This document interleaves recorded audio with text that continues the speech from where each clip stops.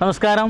പ്രിയ കൂട്ടുകാരെ രക്ഷിതാക്കളെ നമ്മൾ അഞ്ചാം ക്ലാസ്സിലെ സാമൂഹ്യ ശാസ്ത്ര പഠനത്തിന്റെ ഭാഗമായിട്ട് ചരിത്രത്തിലേക്ക് എന്ന് പറയുന്ന ഒരു അധ്യായത്തിന്റെ ഭാഗമായിരുന്നു കഴിഞ്ഞ ദിവസം എടുത്തത്. ഒരു വിദ്യാലയ ചരിത്രം എങ്ങനെയാണ് ഉണ്ടാക്കുക? ആ ചരിത്രം എങ്ങനെ ഏതെല്ലാം രീതിയിലാണ് സൃഷ്ടിക്കുക എന്നുള്ളതിനെ കുറിച്ചായിരുന്നു കഴിഞ്ഞ ക്ലാസ്സിൽ എടുത്തത്. ഇന്ന് ചരിത്ര ശേഷിപ്പുകളെ എങ്ങനെയാണ് തിരിച്ചറിയുക ചരിത്ര ചരിത്രശേഷിപ്പുകളെ എങ്ങനെയാണ് സംരക്ഷിക്കുക എത്ര കാലം പഴക്കമുള്ളതാണ് എന്ന് തിരിച്ചറിയാം ഇതാണ് ഇന്നത്തെ ക്ലാസ്സിൽ എടുക്കുന്നത്. പ്രത്യേകിച്ച് നമ്മുടെ ചരിത്രകാലവും ചരിത്രാതീത കാലവും നിങ്ങൾ കേട്ടിട്ടുണ്ടാവും ചരിത്രകാലവും ചരിത്രാതീത കാലവും എന്തായിരിക്കും ചരിത്രകാലം ചരിത്രാതീത കാലം എന്ന് പറയുന്നത്? ചരിത്രാതീത കാലം എന്ന് പറയുന്നത് ചരിത്രത്തിനെ നമുക്ക് മനസ്സിലാകുന്ന തരത്തിൽ ഒന്നുമില്ലാത്ത കാലത്തെയാണ്. രേഖപ്പെടുത്തിയിട്ടില്ലാത്ത കാലത്തെയാണ്. എന്നാൽ രേഖപ്പെടുത്തിയിട്ടുള്ള കാലത്തിനെയാണ് ചരിത്രകാലം എന്ന് പറയുക അത് പലതരത്തിലും രേഖപ്പെടുത്തിയിട്ടുണ്ട്. പണ്ടുള്ള മനുഷ്യർ തോലിൽ എഴുതി വച്ചിട്ടുണ്ട്. കല്ലിൽ എഴുതി വച്ചിട്ടുണ്ട്. ഗുഹകളുടെ പുറത്ത് എഴുതി വച്ചിട്ടുണ്ട്. അതുപോലെ താളിയോലകളിൽ എഴുതി വച്ചിട്ടുണ്ട്. അതുപോലെ എല്ലിൽ എഴുതി വച്ചിട്ടുണ്ട്. അതുപോലെ കൊത്തുപണികളായിട്ട് ഇഷ്ടികളി ഇഷ്ടികകളിലും അത്തരത്തിലുള്ള ചളി നിറഞ്ഞിട്ടുള്ള പ്രദേശങ്ങളിലൊക്കെ ചിത്രങ്ങളായിട്ട് രേഖപ്പെടുത്തിയിട്ടുണ്ട്. ഓരോന്നും നമ്മളെ വയനാട് വയനാട് പ്രദേശത്തുള്ളതും അതുപോലെ എടക്കൽ ഗുഹയിലെ ചില ചിത്രങ്ങൾ അത് കാലത്തെ തിരിച്ചറിയും. അത് ബി സി രണ്ടാം നൂറ്റാണ്ടിലുള്ള കാലമാണ് അവർ ഉപയോഗിച്ചിട്ടുള്ള വസ്തുവാണ് എന്ന് തിരിച്ചറിയാൻ കഴിയും. അതിനെക്കുറിച്ച് പഠിക്കുന്ന ശാസ്ത്രശാഖകളുണ്ട്. അതിന് ആർക്കിയോളജി എന്നാ പറയാം. ഇന്ത്യയിലെ ആർക്കിയോളജിക്കൽ സർവേ ഓഫ് ഇന്ത്യ എന്ന് പറയുന്ന വലിയ ഒരു ഡിപ്പാർട്ട്മെന്റ് തന്നെ അതിന്റെ കാലത്തിനെ കുറിച്ച് പഠിക്കുന്നുണ്ട്. എത്ര കാലം മുമ്പുള്ളതാണ് എന്ന് ചിലതൊക്കെ ശിലാഫലകങ്ങളിൽ ഉദ്ഘാടനം ചെയ്യുന്ന സമയത്ത് ശിലാഫലകങ്ങൾ ഉണ്ടാവും ആ ഫലകങ്ങളിലൊക്കെ എഴുതി വെച്ചിട്ടുണ്ടാവും. എത്ര വർഷം മുമ്പ് ആരൊക്കെയാണ് അതിലുണ്ടായിരുന്നത് ആരൊക്കെയാണ് ഉദ്ഘാടനം ചെയ്തത് അന്ന് സന്നിധാരായ ആൾക്കാരൊക്കെ എന്നൊക്കെ ഫലകങ്ങളിൽ ഉണ്ടാവും ഇങ്ങനെ ഫലകങ്ങളിലും ഒന്നുമില്ലാത്ത കാലം അതിന് മുമ്പുള്ള നമുക്ക് തിരിച്ചറിയാൻ കഴിയാത്ത താളിയോലയിലോ അല്ലെങ്കിൽ അത്തരത്തിലുള്ള മരത്തിലോ കല്ലിലോ എല്ലുകളിലോ ഒന്നും കൊത്തിവെക്കാത്ത തരത്തിലുള്ള അത്രയും വർഷത്തെ പഴക്കമുള്ള വസ്തുക്കളും സാധനങ്ങളൊക്കെ ഉണ്ട്. ഇത് മനുഷ്യന്മാർ അത് എടുത്തിട്ട് എവിടെയാണ് സൂക്ഷിച്ചു വെക്കുക? അതിനെയാണ് മ്യൂസിയം എന്ന് പറയാം. എല്ലാ മ്യൂസിയത്തിലും ഓരോ പ്രദേശത്തും ഓരോ മ്യൂസിയം ഉണ്ടാവും. ആ പ്രദേശത്തുള്ള ഗവൺമെന്റിന്റെ കീഴിലുള്ള മ്യൂസിയങ്ങൾ പുരാവസ്തുക്കളെ കാലത്തെ നിർണയിച്ചുകൊണ്ട് പഠനം നടത്തി അത്തരം ആളുകളുടെ സംസ്കാരം എന്താണ് ജീവിത രീതികൾ എന്താണ് അവരുടെ പെരുമാറ്റങ്ങൾ എന്താണ് എങ്ങനെയൊക്കെയാണ് അവർ ജീവിച്ചത് എന്നതിനെക്കുറിച്ചുള്ള എല്ലാ ചുറ്റുപാടുകളും മനസ്സിലാക്കാൻ വേണ്ടിയാണ് ഈ വസ്തു ഉപയോഗിക്കുന്നത്. അപ്പോൾ അത്തരത്തിലുള്ള ശേഷിപ്പുകളെ എങ്ങനെ സംരക്ഷിക്കുക? നമ്മൾ പാഠഭാഗത്തിൽ ചില ഭാഗങ്ങൾ തന്നിരുന്നു. പേജ് നമ്പർ പന്ത്രണ്ടിൽ മൂന്ന് ചിത്രങ്ങൾ കൊടുത്തിരുന്നു. നിങ്ങളൊക്കെ നോക്കിയിട്ടുണ്ടാവും നമ്മൾ വിറ്റസ് ചാനലിൽ കണ്ട സമയത്ത് ആ ടീച്ചർ പറഞ്ഞിരുന്നു അതെടുത്ത ടീച്ചർ പറഞ്ഞിരുന്നു ഒരുപാട് കാലങ്ങളായി ഉപയോഗിക്കുന്ന സാധനങ്ങളുണ്ട്. ഇതൊക്കെ എന്തിനൊക്കെയാണ് ഉണ്ടാവുക? നോക്കുക പണ്ട് കാലത്ത് കുടക്കല്ല് എന്ന് പറയും. കുടയെ പോലെ കല്ല് ഉണ്ടാകുന്ന തരത്തിൽ അതിലാണ് ആൾക്കാർ താമസിച്ചിരുന്നത്. അതുപോലെ ചില രണ്ടാമത്തെ ചിത്രം മുനിയറാണ് മുനിയറ എന്ന് പറയുന്നത് മരിച്ച് മണ്ണടിഞ്ഞു പോയ ആളുകളെ മരിച്ചിട്ടുള്ള ജാതിയോ മതമോ ഒന്നുമില്ലാത്ത അല്ലെങ്കിൽ അതിലുള്ള ആൾക്കാരെ തന്നെ അവരുടെ ആചാരപ്രകാരം മുസ്ലിങ്ങളാവുമ്പോൾ കുഴിച്ചിടും. അല്ലാത്ത രീതിയിലാവുമ്പോൾ അതിൽ അതിന്റെ ശേഷിപ്പുകൾ വെച്ചുകൊണ്ട് സംരക്ഷിക്കുന്ന രീതിയിലുള്ളതിനാണ് മുനിയറ എന്ന് പറയാം. മറ്റൊന്ന് ഈ കുടമാണ്. അതിൽ പഴയ സാധനങ്ങൾ നമുക്കൊക്കെ അറിയാം നിധി കിട്ടി. ചില സ്ഥലത്തൊക്കെ മതിൽ പൊളിച്ച സമയത്ത് അല്ലെങ്കിൽ വേറെ ഏതെങ്കിലും മണ്ണ് കുഴിക്കുന്ന സമയത്ത് നിധി കിട്ടി എന്ന് പറയും. അത് അത്തരത്തിലുള്ള ഭരണികൾ വലിയ ഭരണി ചീന ഭരണി എന്നാണ് ചൈനയിൽ നിന്നാണ് അത് വന്നിരുന്നത്. ചീന ഭരണിയിൽ സ്വർണവും രത്നങ്ങളും മറ്റൊക്കെ ഉണ്ടായിട്ട് കലാപങ്ങളും അതുപോലെ പ്രശ്നങ്ങളൊക്കെ ഉള്ള പ്രദേശങ്ങളിലാണെങ്കിൽ അത് ഭരണിയിലിട്ടിട്ട് കുഴിച്ചിടും. അല്ലെങ്കിൽ ചില ആളുകൾ മരിച്ചു പോയിട്ടുണ്ടെങ്കിൽ ആ മരിച്ചുപോയ അവരുടെ മനുഷ്യന്മാരുടെ വലിപ്പത്തിലുള്ള വലിയ ജാർ എടുത്തിട്ട് അതിൽ വെച്ചിട്ട് കുഴിച്ചിടും. ശവശരീരത്തിനും വേണ്ടി ഉപയോഗിക്കും അല്ലെങ്കിൽ നിധിയായിട്ടും അത് ഉപയോഗിക്കുന്നു.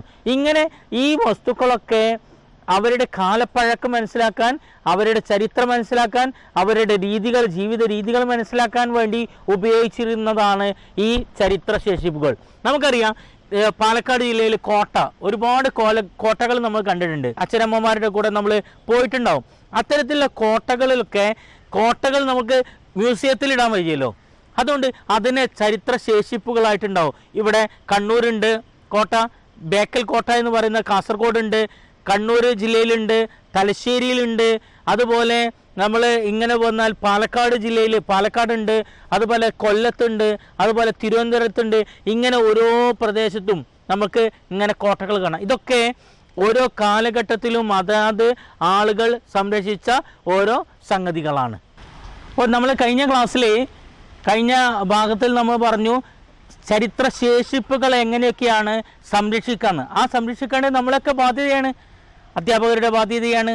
കുട്ടികളുടെ ബാധ്യതയാണ് രക്ഷിതാക്കളുടെ ബാധ്യതയാണ്. ഇതൊക്കെ വീട്ടിലുള്ള എല്ലാ വസ്തുക്കളും നമ്മൾക്ക് കാലപ്പഴക്കം ഇന്ന് ഉപയോഗത്തിലില്ലാത്ത വസ്തുക്കളെ അന്ന് ഉപയോഗിക്കുമ്പോൾ നമ്മൾ ചെറിയ നാണയങ്ങൾ ഓട്ടമുക്കാൽ എന്ന് പറയുന്ന നാണയം കഴിഞ്ഞ ദിവസം കണ്ട സമയത്ത് ആ കാലഘട്ടത്തിൽ ഈ ഓട്ടമുക്കാലിന് എന്തെല്ലാം വില ഉണ്ടായിരുന്നു? ഇന്ന് ഒരു ലക്ഷം രൂപ ചെലവാക്കുന്ന ഭാഗത്തായിരുന്നു അന്ന് ഓട്ടമുക്കാലുകളൊക്കെ ഉണ്ടായിരുന്നത്. ആ ഓട്ടമുക്കാലുണ്ടായപ്പോൾ വയസ്സന്മാരായിട്ടുള്ള ആൾക്കാർ പറഞ്ഞു ഞങ്ങൾ കാലഘട്ടത്തിൽ ഉപയോഗിച്ചത് ഇന്നത് ആയിരുന്നു. ഒരു ദിവസത്തെ ദിവസങ്ങളോളം പട്ടിണി മാറ്റാനുള്ള മാർഗമായിട്ട് അത് ഉപയോഗിച്ചിട്ടുണ്ട്. അങ്ങനെ നമ്മൾ കലണ്ടറുകൾ നമുക്കറിയാം. പഴയ കലണ്ടർ കിട്ടുമ്പോൾ അത് നമുക്കറിയാം. പഴയ ഫോട്ടോകൾ നമുക്ക് കിട്ടുമ്പോൾ നമ്മളെ രീതിയിലല്ലാത്ത ചെറിയ ഫോട്ടോകൾ കിട്ടുമ്പോൾ ആ കാലഘട്ടത്തിലേക്ക് നമ്മൾ മാറുന്നു.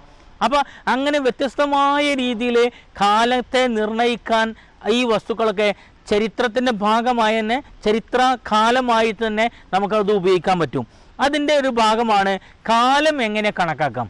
രണ്ട് തരത്തിലുള്ള കാലുണ്ട് ബിഫോർ ക്രൈസ്റ്റ് എന്ന് പറയുന്ന ക്രിസ്തു ജനിച്ചതിന്റെ മുമ്പുള്ള ഭാഗത്തിനെ ബി സി എന്ന് പറയും.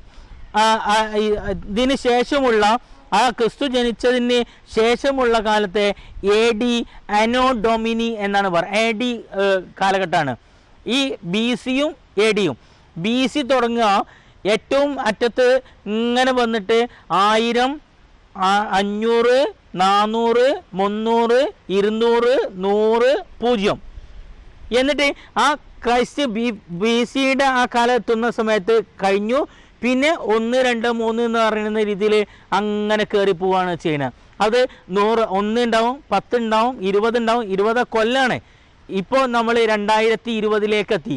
അതിന്റെ ഭാഗം എ ഡി എന്നാണ് ആഫ്റ്റർ അതിന് നമ്മൾ പറയാം ആനോ ഡൊമിനി എന്ന എ ഡി ക്രിസ്തു ജനിച്ചതിന് ശേഷമുള്ളത്.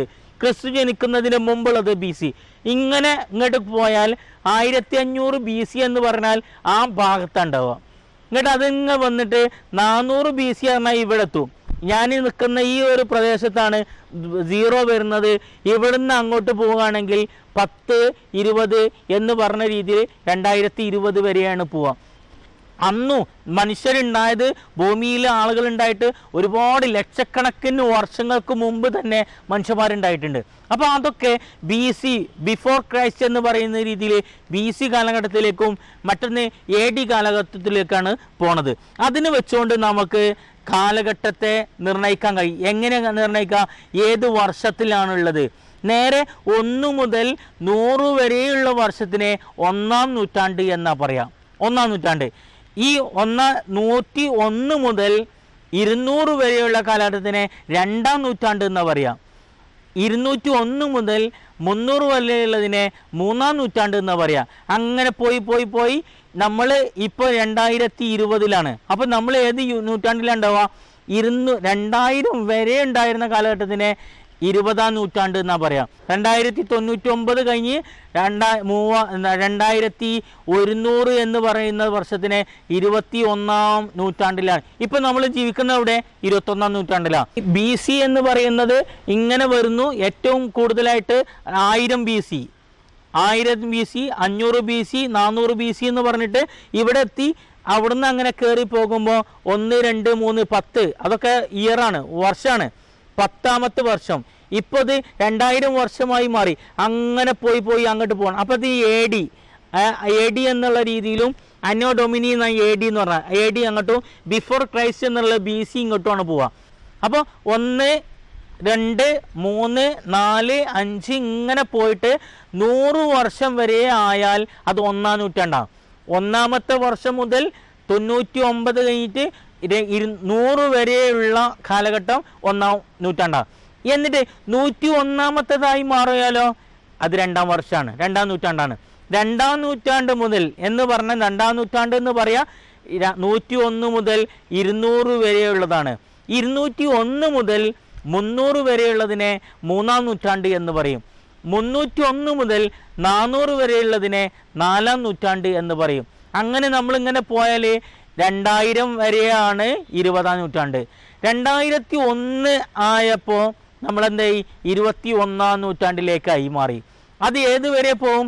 തൊണ്ണൂറ്റി ഒമ്പത് ഇപ്പോൾ രണ്ടായിരത്തി ഇരുപതാണ് രണ്ടായിരത്തി തൊണ്ണൂറ്റി ഒമ്പത് കഴിഞ്ഞിട്ട് രണ്ടായിരത്തി ഒരുന്നൂറ് രണ്ടായിരത്തി ഒരുന്നൂറ് വരെ എന്താണ്? ഇനി ഒരു എൺപത് കൊല്ലം വരെ ഇരുപത്തൊന്നാം നൂറ്റാണ്ടാണ് രണ്ടായിരത്തി ഒരുന്നൂറ്റി ഒന്ന് മുതൽ തുടങ്ങുകയാണ് ഇരുപത്തി രണ്ടാം നൂറ്റാണ്ടിലേക്ക് കടന്നു എൺപത് വർഷം കഴിഞ്ഞാലാണ് അത് കാലം തുടങ്ങുക. ഇരുപത്തിരണ്ടാം നൂറ്റാണ്ടാവുക. അതുപോലെ ബി സി ഇങ്ങോട്ട് പോരുന്ന സമയത്ത് നൂറ്റാണ്ട് നോക്കുക ഇങ്ങനെ ഒന്ന് ഇവിടെ സീറോയിലെത്തിയ. സീറോ മുതൽ നൂറ് വരെ. അങ്ങോട്ട് ഇങ്ങനെ കൂടി കൂടി കൂടി കൂടി വരിക. അല്ലേ? നോക്ക് എങ്ങനെ ഉണ്ടാവുക? അവിടെ ഇങ്ങനെ കൂടിക്കാണ്ട് ആദ്യത്തേത് ഇവിടെ പൂജ്യം ആയി തുടങ്ങി. അതുപോലെ ഇങ്ങനെ കൂടി കൂടി കൂടി ഇങ്ങനെ പോണതിനനുസരിച്ച് എത്ര ബി സി എന്നാ പറയാ? അങ്ങനെ ലക്ഷക്കണക്കിന് വർഷങ്ങൾക്ക് മുമ്പാണെങ്കിൽ അത്രയും കൊല്ലത്തെ ബി സി എന്നുള്ള കണക്കിലാണ് പെടുക അപ്പോൾ ആ കാലഘട്ടത്തിന് നമുക്ക് എ ഡി എന്നും അതന്നെ കാലഘട്ടം മനസ്സിലായി. ചരിത്രാതീത കാലം എന്ന് പറഞ്ഞാൽ നളന്ദ സർവകലാശാല അല്ലെങ്കിൽ ഇപ്പം നമ്മൾ ഇവിടെ തൊട്ടടുത്തുള്ള പാലക്കാട് ജില്ലയിലെ ഇരുന്നൂറ് വർഷം മുമ്പുള്ളതാണ്. എന്ന് പറഞ്ഞാൽ അതിന്റെ കാലം എന്താ? അതിൽ നിന്ന് കിട്ടിയിട്ടുള്ള വസ്തുക്കൾ അതിൽ അന്ന് ആൾക്കാർ ഉപയോഗിച്ചിരുന്ന വസ്ത്രങ്ങൾ അന്ന് ആൾക്കാർ ഉപയോഗിച്ചിരുന്ന നാണയങ്ങൾ മറ്റു സാധനങ്ങൾ ഇതൊക്കെ വെച്ചിട്ടാണ് കാലപ്പഴക്കം നോക്കുക. ഇങ്ങനെ കാലപ്പഴക്കം എങ്ങനെ നമുക്ക് നൂറ്റാണ്ടിനെ എങ്ങനെ മനസ്സിലാക്കും എന്നുള്ളതാണ് നമുക്ക് ഈ പാഠഭാഗത്തിലുള്ളത് അത് നൂറ്റാണ്ടിനെ കണക്കാക്കാം എന്ന് പറയുന്ന ഭാഗത്തിൽ എത്ര നൂറ്റാണ്ട് വരെയാണ്? ഒരു നൂറ് വർഷത്തിനെയാണ് ഒരു നൂറ്റാണ്ട് എന്ന് പറയുക അങ്ങനെയാണെങ്കിൽ നിങ്ങളുടെ പേജ് നമ്പർ പതിനഞ്ചിൽ ഒരു കോളുണ്ട്. അത് നിങ്ങൾ പൂർത്തിയാക്കണം. ഓരോ വർഷം തന്നിട്ടുണ്ട്. എ ഡി രണ്ടായിരത്തി പതിനാല് ഏത് വർഷമായിരിക്കും ഏത് നൂറ്റാണ്ടായിരിക്കും? എ ഡി രണ്ടായിരത്തി പതിനാല് ഇരുപത്തി ഒന്നാം നൂറ്റാണ്ട്. വളരെ വളരെ നല്ലത്. അതുപോലെ എ ഡി ആയിരത്തി തൊള്ളായിരത്തി നാൽപ്പത്തി ഏഴ് സ്വാതന്ത്ര്യ ദിനം നടന്നത് ആയിരത്തി തൊള്ളായിരത്തി നാൽപ്പത്തി ഏഴ് ഏത് നൂറ്റാണ്ടാണ്? ഇരുപതാം നൂറ്റാണ്ട്. ഇങ്ങനെ ഓരോന്ന് ഇതിൽ കുറേ എണ്ണം കൊടുത്തിട്ടുണ്ട്. അത് നിങ്ങൾക്ക് പരിചയമായി. ആയിരത്തി എണ്ണൂറ്റി എൺപത്തി ഏഴ് ഇന്ത്യയിലെ ബ്രിട്ടീഷുകാരുമായിട്ട് ആദ്യത്തെ സമരം നടന്ന വർഷമാണ് ആയിരത്തി എണ്ണൂറ്റി അൻപത്തി ഏഴ് ഏത് നൂറ്റാണ്ടാണ്? ആയിരത്തി എണ്ണൂറ്റി ഒന്ന് മുതൽ ആയിരത്തി എണ്ണൂറ്റി തൊണ്ണൂറ്റൊമ്പത് വരെയുള്ള കാലഘട്ടം ഇലപെടുക ഇലപെടുക പതിനെട്ടാം നൂറ്റാണ്ട്. അപ്പോൾ പതിനെട്ടാം നൂറ്റാണ്ടിൽ ആയിരത്തി എണ്ണൂറ്റി അൻപത്തി ഏഴിലെ മഹത്തായ വിപ്ലവം പതിനെട്ടാം നൂറ്റാണ്ടിലാണ്. ഇങ്ങനെ നമുക്ക് കാലം എത്ര കാലമുണ്ട് എന്നുള്ളത് നമുക്ക് മനസ്സിലാക്കാൻ കഴിയും. ഇതാണ് നമുക്ക് പ്രധാനമായും ചെയ്യേണ്ടത്. നിങ്ങളുടെ പുസ്തകം നോക്കിയിട്ട് അതിൽ കുറേ കാര്യങ്ങൾ അതിൽ വായിക്കാനുണ്ട്. നിങ്ങൾക്ക് വായിക്കാനുണ്ട്. ആ വായിച്ചതിന് ശേഷം നിങ്ങളുടെ ഈ ഭാഗത്ത് എ ഡി ബി സി. ഇത് ഇങ്ങനെ വരുന്ന നോക്ക്. ബി സിയിലേക്ക് നൂറ് ഇരുന്നൂറ് മുന്നൂറ് നാനൂറ് അഞ്ഞൂറ് പറഞ്ഞിട്ട് ഇങ്ങനെ കൂടുകയാണ് അങ്ങോട്ട് പോകുന്നതിനനുസരിച്ച് ഇങ്ങനെ കൂടും. ഇതും എങ്ങനെയാണ്? ഒന്ന് രണ്ട് മൂന്ന് പറഞ്ഞിട്ട് ഇങ്ങനെ ഇങ്ങനെ കൂടുകയാണ് ഈ അപ്പോൾ നമ്മൾ നിൽക്കുന്ന ഇവിടെ രണ്ടായിരത്തി ഇരുപത് ഒരു ഒരു ദൂരത്താണ്. ആദ്യം തുടങ്ങിയത് എ ഡി ഇവിടെയാണെങ്കിൽ എ ഡി ഒന്ന് ഇവിടെയാണെങ്കിൽ ഇങ്ങനെ പോയി പോയി പോയി രണ്ടായിരത്തി ഇരുപത് വരെയുള്ള ഭാഗത്ത് അങ്ങോട്ട് പോണ്. അപ്പോൾ അത് എത്ര നൂറ്റാണ്ടിലാണ് എന്നുള്ളത് നിങ്ങൾ നോക്കിയിട്ട് ബി സിയും ഡിയും തിരിച്ചറിയാൻ സഹായിക്കുന്ന ഒരു ചിത്രമാണ്. അത് നോക്കി മനസ്സിലാക്കുക. പരമാവധി ഹോംവർക്കുകൾ നിങ്ങൾ ചെയ്തു നോക്കുക. നിങ്ങളുടെ അച്ഛനോട് അമ്മനോട് ഒക്കെ കൃത്യമായി ചോദിച്ചിട്ട് ഏത് വർഷം എന്ന് പറയുമ്പോൾ ആ വർഷം നിങ്ങൾക്ക് ഏത് നൂറ്റാണ്ടിലായി എന്ന് പറയാൻ കഴിയണം. അതാണ് ഈ പാഠഭാഗത്തുള്ളത് ചരിത്രശേഷിപ്പുകൾ ചരിത്രാതീത കാലം ചരിത്രകാലം അതുപോലെ ഇതിനെ ചരിത്രശേഷിപ്പുകളെ എങ്ങനെയാണ് സംരക്ഷിക്കുക എന്നുള്ളത് ഇത്രയും കാര്യങ്ങളാണ് നമ്മളെ ഈ പാഠഭാഗത്തിൽ പഠിക്കാനുള്ളത്. എല്ലാവരും പഠിക്കുക മനസ്സിലാകാത്തത് നോക്കുക. ഒന്നുകൂടി ഉണ്ടെങ്കിൽ സംശയം തോന്നിച്ച് അത് ദൂലീകരിക്കുക ഓക്കെ? ശരി. താങ്ക്